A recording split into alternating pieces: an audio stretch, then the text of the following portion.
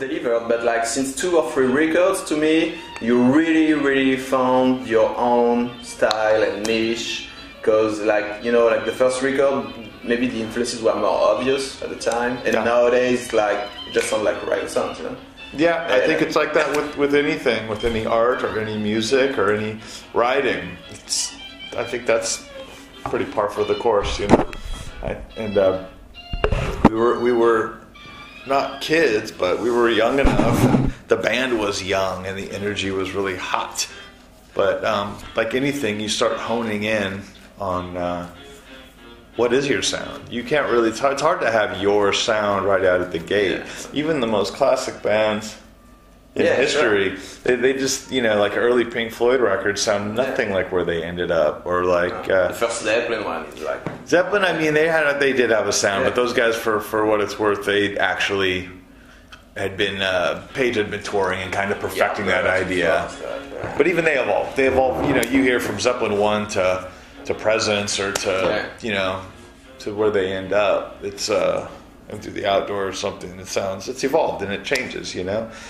So I think for us, we we felt we had our own thing out of the gate, but it was we didn't know what that thing was going to be. There was a few different things that were our own for us, and of course, you reflect your influences. So I think by the time you get to um, Head Down was a big turning point for us. Yeah. You know, because we really consciously, you know, I consciously really wanted to write a very big record.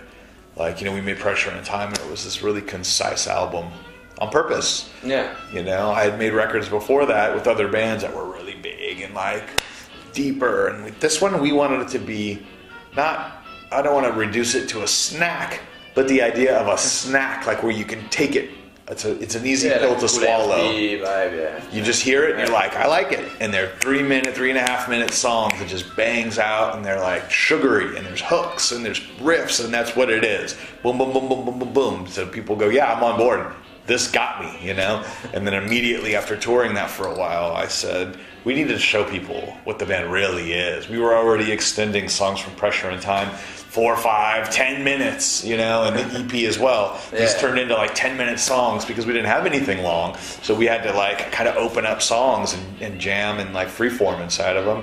When we did Head Down, I wanted to make sure we included songs that showed more of our potential. song, like yeah, so like, More of our potential. Yeah, you get two part songs, you get instrumental guitar pieces, you're getting even more poppy stuff. It's more sugary and poppy, and you're getting even more dark and like far out stuff and everything in between. So it's a broad record. So that might look schizophrenic or just like we're really searching, but that's what we were doing. We were showing our potential not only uh, to the fans, but to each other.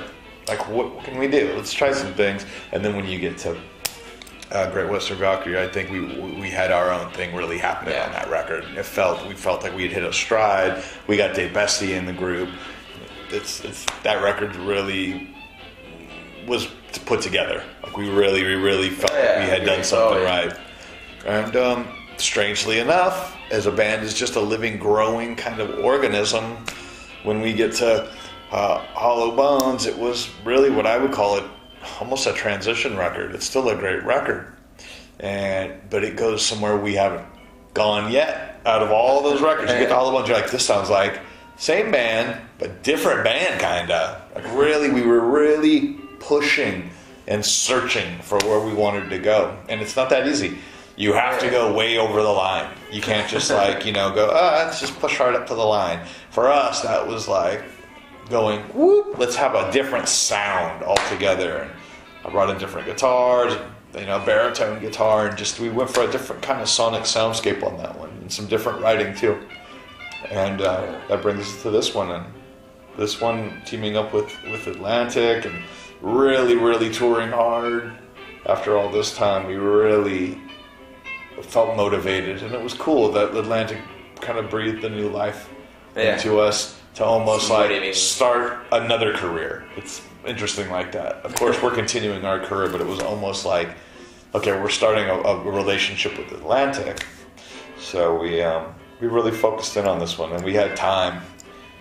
That's what we didn't have on any of the other ones. Yeah, because I remember like the the previous record, usually you, work them like quickly, sometimes in the studio for not much days, you know.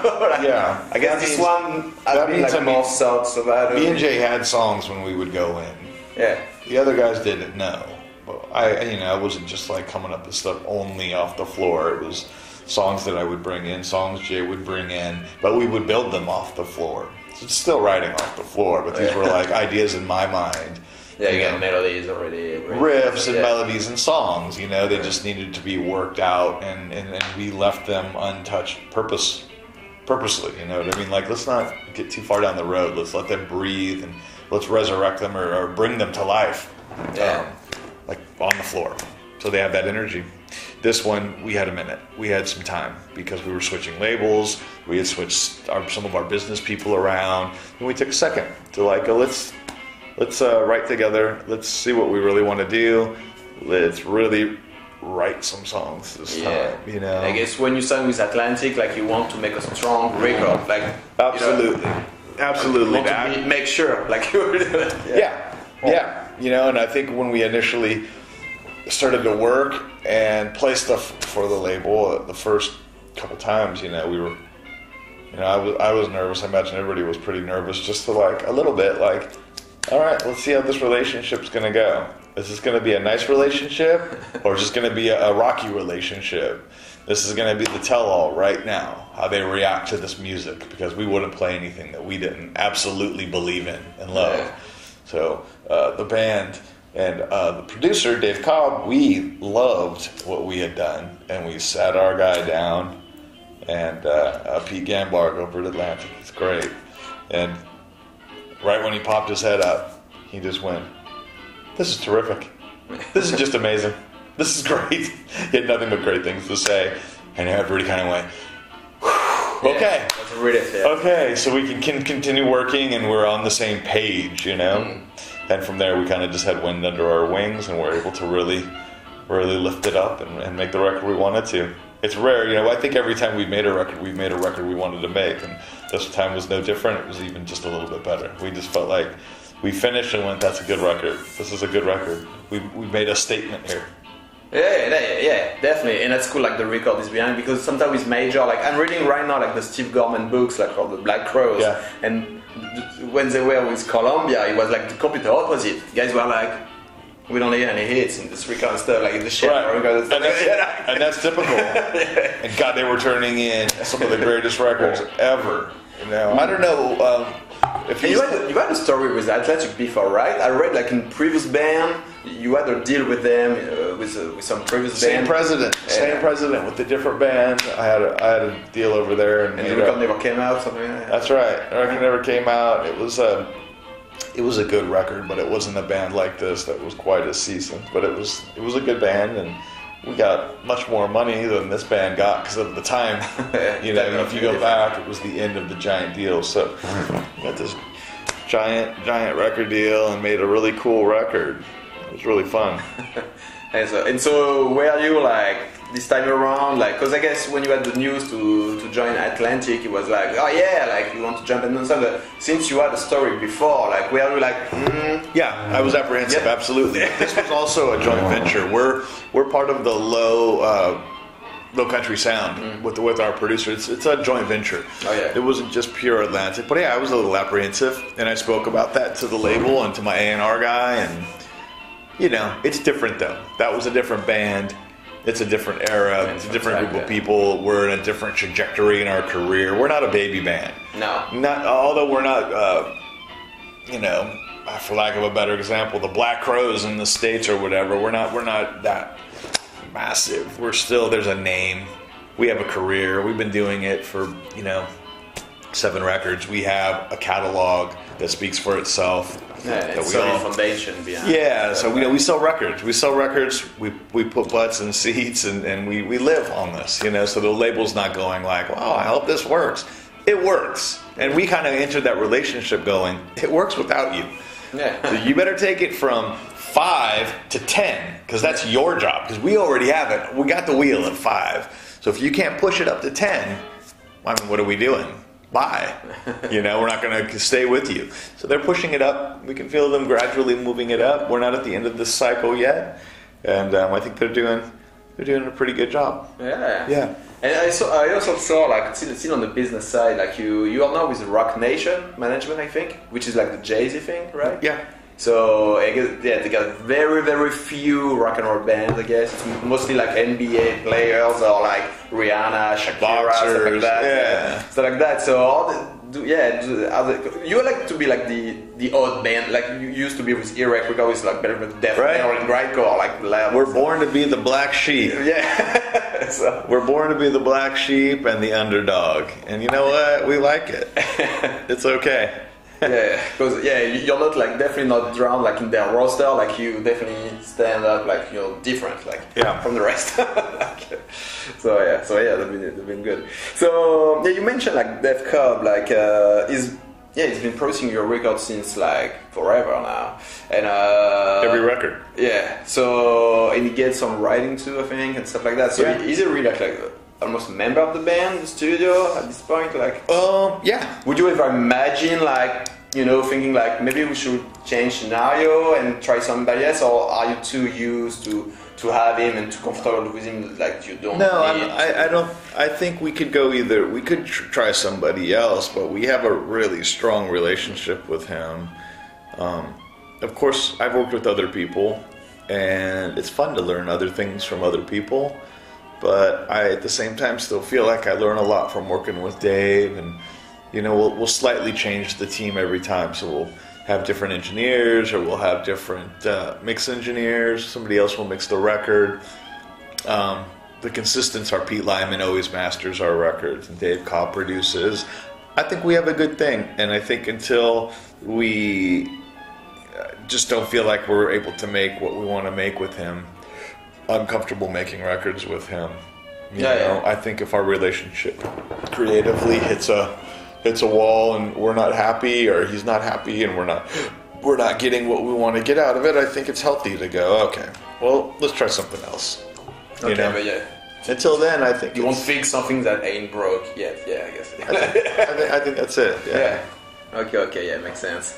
And uh, and so yeah, on this new record, uh, you've been venturing with like 12 string, strings next. Like uh, I saw you with like 12 strings acoustic guitar, and obviously you get like the double, like the old Gibson, like EDS, and I saw like Kauer make Yeah. one as well. So I guess it opened up like a whole new thing creatively for you. Yeah. The- Sure, I've had that double neck. The Gibson I've had since a, a long time. I've had that for 20, 20 years or something. oh really? Yeah, the, the old one. Like, Yeah, I've just I've used it. I used it with that other band that was on Atlantic. I used to play live with it with that with that band, and I put it away. We this band got a lot of um, brutal Zeppelin comparisons early on, and I just went, I can't break this guitar. Oh yeah, yeah. it's just Yeah, too yeah, much. yeah. But um, we've we've you know become So it's a real like vintage one, like. yeah, well, I mean, it's a 75, 76. Oh, yeah. They're hard to date, but yeah, it's, it's vintage.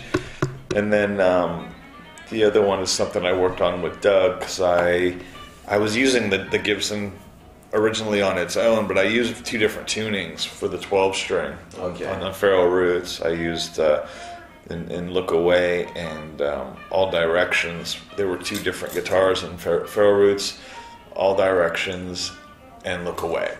I use a 12 string. I was using the double neck, and there's a couple different tunings there. So I was having my tech Ben have to tune them during the show, and I was thinking, oh god, he's tuning right next to me to the show, and it's so loud, and it's the 12 string is Yeah. brutally hard to tu- tune.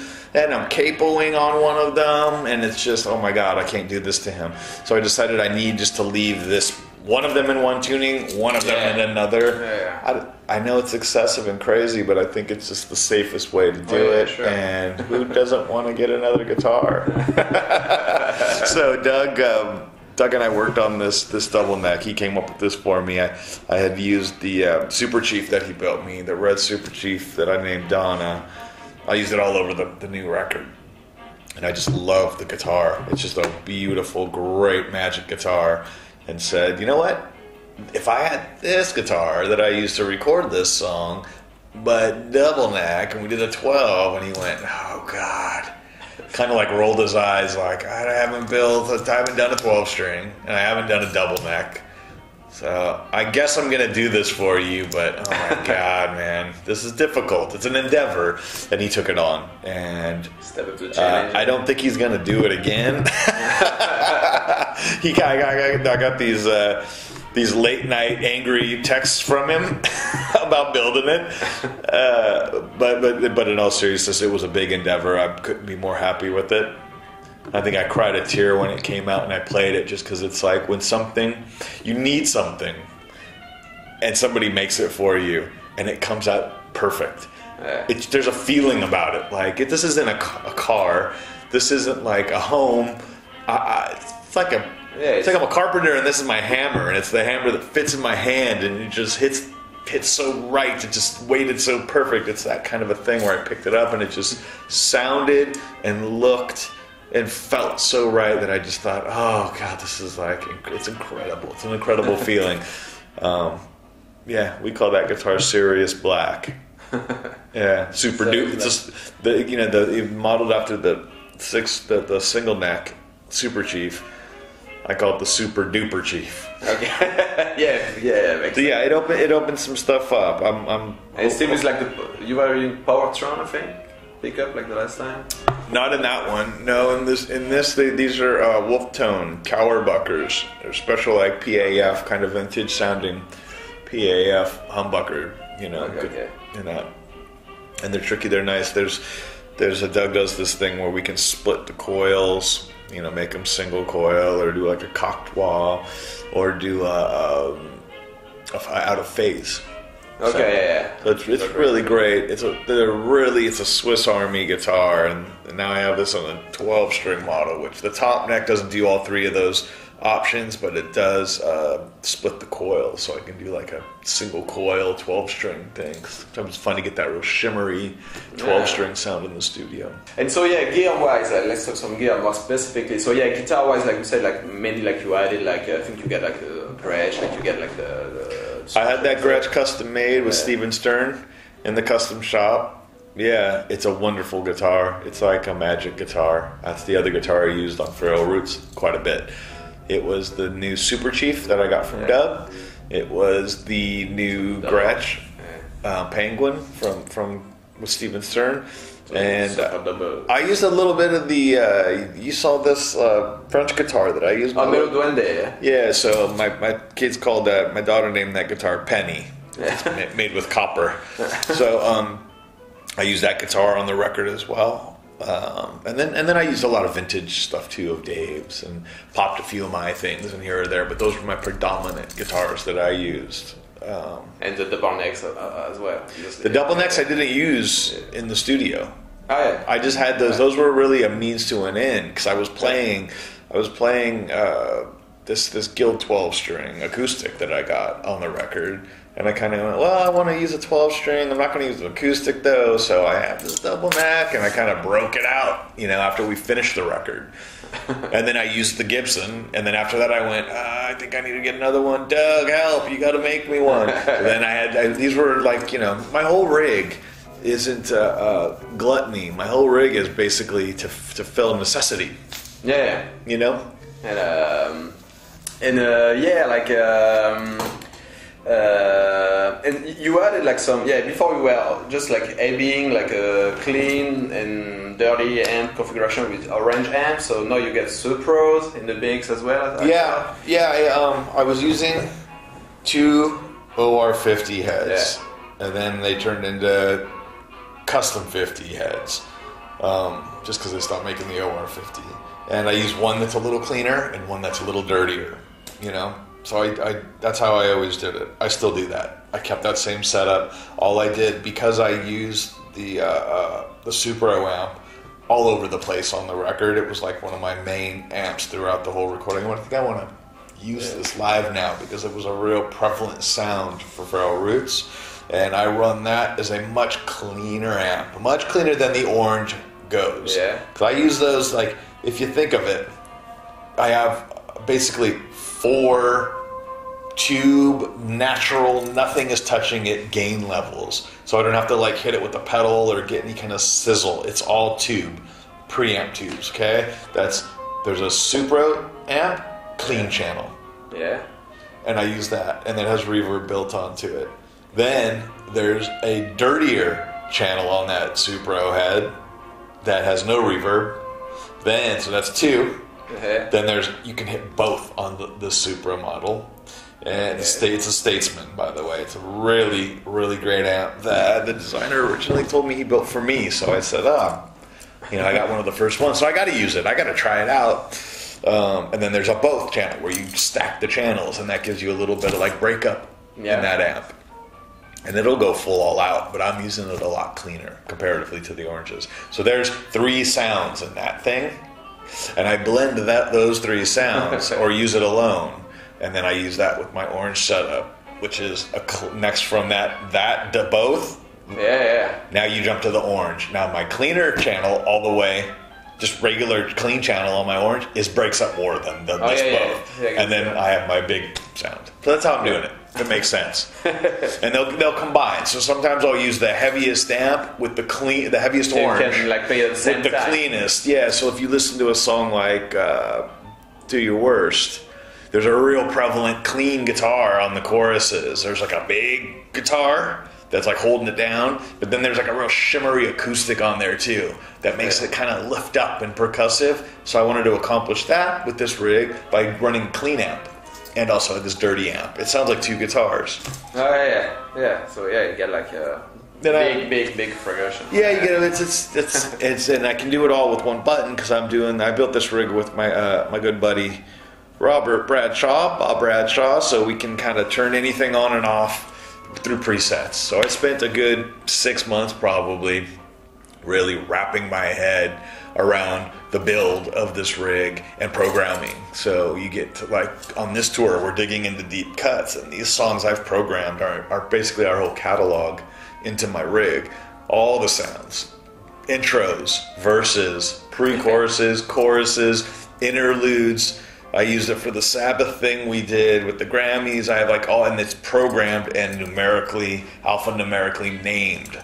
It took forever. Yeah, It- it was even a- like balancing levels, I guess. Like it should be like Oh, it was a Yeah. it, it was a nightmare, dude. It- it's Yeah. just a lot of work, just a lot of work. But when when it's done, Yeah. it allows me to Oh, yeah. just go. I used to have to like really set tones yeah, up. tap dancing. Yeah, you have to like hit three things in a certain order to get in and out of sounds. You know, you can't like turn a delay off and then hit a thing, or turn a amp off and then a delay because it's still catching the loud sound. Or it gets tricky, is what I'm Yeah. trying to say. So you Yeah, know what I'm. it's really big pedal ball and stuff. Like Yeah. that, like dancing around. Yeah. It was difficult, and that's why I had to build this because it, it was too much now. So I just said, "All right, I'm going to do this." So I hit one thing, and the scene happens. I hit this thing, and a whole new scene happens. This amp's off. This amp's on. These three pedals are working. Next button is no pedals, just as a different amp. You know, Yeah. so it's and it's very easy now. It just took a lot of planning Oh, yeah. and. You'll see tonight it works really nicely and it allows me to move around the stage more and uh, not have to overly think. Oh, yeah, all the pedals are on the back now, and you get Yeah. like just like the controller That's like right. on stage, and yeah. And yeah, I even I even stopped stacking cabs, you know, because we have this beautiful backdrop. So for production, I just have one 412 that both of the oranges switch into, and one 212 that the Supro comes through. It's simple and it's it's massive and powerful and works wonderfully. Yeah. And you guys put some really efforts into it because you use your own mics, I'm sure. I saw the mics. Oh, so yeah. I'm like, oh, it's not like the random 57 like No, no, on the venue and stuff. Because most bands do that, you know. No, my- most bands just like pick up like a shirt. My good friend and longtime front of house Neil McDonald is uh, he's he's like the other band member. He's been with us since the beginning. He was the, the only guy we had. He'd be driving the van with us. It was Oh, yeah. it was just the band and him. We had a we had a sound man from the beginning. We had a front of house from the beginning, Yeah, and it's it's cool. been him. And he was already a guy that did arenas and was a really big guy. He scaled back to do us. Like, yeah, I wanted this is a band I want to do, and I'm going to go out on these guys. So we love him. He's he's family, and he is a fucking consummate professional, and has everything to do with how we sound out front. the reason, like how that sounds big, and a lot of these tricks, and how honestly. Uh, I think just because I'm, I'm complimenting him and not talking about the band, we sound good every fucking time. we sound the best every time. Like you know, we've done opening gigs where we've sounded better than headliners. Oh, yeah. So I've had I've had band guys come up to me, famous people that I'm not going to name, huge famous legends walk up and go, "What are you doing? You sound better than us every night." Like, you got to talk to my guy. I'm not going to tell you what we're doing. You can talk to my front of house, and um, we hear that from audience members too, and that's because my front of house. He, he really knows what he's doing. to me, you arrive at the point where like there was like it was really jam packed for like rock and roll or classic revival, classic rock revival type of band stuff like that. And to me, you really like it was hard to stand out from the mass at the time. Because a decade ago, there were million bands like uh, doing rock and roll again, you know. Yeah. Uh, not like the Black Crowes, for example. They were like the only one in the '90s. Like after Guns N' Roses stuff like that, they were Lenny like, Kravitz and the Black Crowes. yeah. I mean, it, Yeah, it- that was it. Like, yeah. and uh, and Lenny went more popular afterwards. You know, and it wasn't like the same. You know, like. But yeah, in your time was more difficult, I think, to shine, stand out. But uh, to me, like, you did it early on because you know you get great chemistry, great sound and all that. But you also like stands out as a guitar player, obviously, and uh, and also Jay. Like Jay to me is like one of the. I mean, I can dare to say he's one of the best rock and roll singer ever. Not only in his time, like I can say that ever. easily. And uh, I can say that no problem. yeah. And uh, When you find it, when, when you found him in the first place, were you like, "Wow, dude!" I Yeah. yeah, I mean, it was. Yeah, I was. I was. I was working with with another guy, and we're looking for people and auditioning people, and I had auditioned and looked, and I was. Um, I already found Mi- Michael Miley, so we had already started, and. Um, I just I, I had so many different auditions for bass players and I had heard so many singers it just it was really discouraging because um, I felt like with me and Miley we had something special. And without sounding like a big egotistical asshole I felt like I had something to offer that was different. I was coming off of a big deal. I had songs. I had people waiting. And I felt like I was preparing to do something important that people were going to see. And even before I even had my band, I just knew for myself, I'm about to do something. I can feel it in my heart. This isn't like me blowing smoke and patting myself on the back. I just knew that I was set up to make a statement, you know? You know, you can feel when you're about to come upon something for yourself like, I don't know how big it's going to get, but I know I'm about to say something and I'm going to make a big noise. It's gonna. Some people are gonna hear this, and I just wanted to make sure the quality stayed on that level, that kind of integrity of a person. And Michael Miley was like that. When I got him, like, I felt he was the same way. Like he's ready to explode. if I don't get him, someone's gonna get him, and he's he's a special the player. very beginning, he played like a big rock star. I remember even in tiny room, like he was like all showing off his. Yeah, exactly.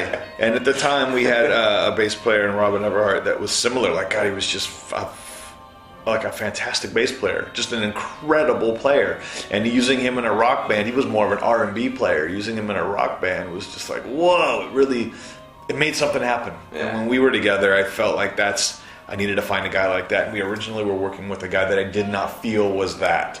I thought he was handsome and he had a great voice, but he wasn't on the same level. And, And if you I, I love I- like it all falls down. Like and that's it. So I, I just immediately knew, okay, we have reached the spot with the band. This isn't right. This one thing isn't right. It's just not going to fly. it's. Like So I, I, I began to look, and quickly came upon his his thing. And when I heard him, I, I it was really powerful. Like it was not like you know I only heard one, like like 15 seconds of a song, and I stopped what I was listening to. And I was married at the time. And I called my my wife at the time up, and I said, "You have to hear this." I didn't haven't even listened to more of it, but in this 15 seconds, I kind of like almost had tears in my eye. I said, "I've been looking for something like hard, like hard. I've been trying to dig it out like every day of my life. Every day I'm looking in every corner for it." And I said, "I think I just found it. I think this is the voice I've been looking for." And I played it for her, and she just started crying. I said, "This is heavy. This is like something happened. Like that something like worked out and like aligned it for us. You know what I mean?" And then it ended up being a, a friend. So it was powerful for me in seconds. Like right when I heard it, I went, "This is it, dude. This is this. This was the missing link." And then when we got together, it was just that. It just unrolled, just like how I thought it would. Like that's it. so it's, to, to, to what he's become to this point now. Yeah, I mean, he's easily stands in, in, a, in, a, in a very. Uh, there's just not too many people that can stand to him. Oh no no no. It's- Yeah, it's in this era, none. In, Yeah. in in the in the whole epoch, the whole big era, I think very few, if any. I think he stands shoulder to shoulder with the, the greatest ever. Ah. And it's a blessing because you could you couldn't be like the best band ever if you have a crap singer. Like it's like Yeah. No, yeah, you got to have a great, you have to have great It's singer, but it's more than that. It's more than the comparisons people make, and it's what's really great about him. I think most people don't even. And he's as great live as he's in the studio. Also, like he's really consistent, like live. You know. I think what's really Yeah. great for for me in, in our relationship, most people don't even really quite understand the depth of it, and that's fine. But they, you can just take my word for it that it's there. It's it's enough what you see. It's enough what you see and what you hear, you know. But there's there's another layer to it that makes it it's real. It's real, and it'll it'll never be. It's unre- It's it's irreducible.